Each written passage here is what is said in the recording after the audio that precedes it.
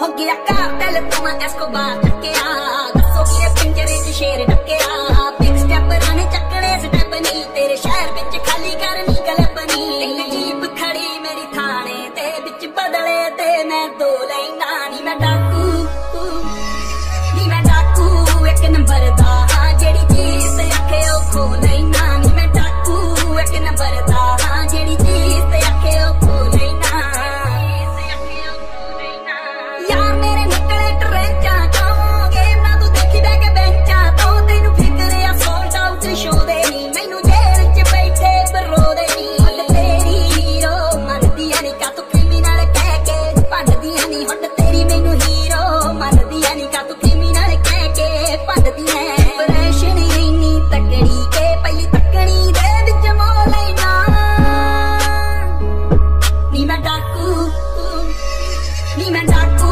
ਇੱਕ ਨੰਬਰ ਦਾ। ਹਾਂ ਜਿਹੜੀ ਚੀਜ਼ ਤੇ ਅੱਖ ਉਹ ਕੋ ਲੈਣਾ ਨੀ ਮੈਂ ਟਾਕੂ ਇੱਕ ਨੰਬਰ ਦਾ। ਹਾਂ ਜਿਹੜੀ ਚੀਜ਼ ਤੇ ਅੱਖ ਉਹ ਕੋ ਲੈਣਾ ਮੈਂ ਟਾਕੂ ਇੱਕ ਨੰਬਰ ਦਾ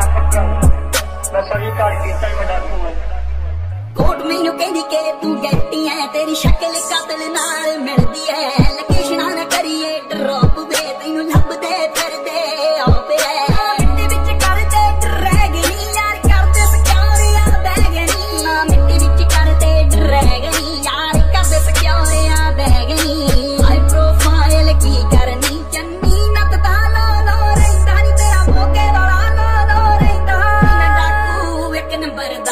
daddy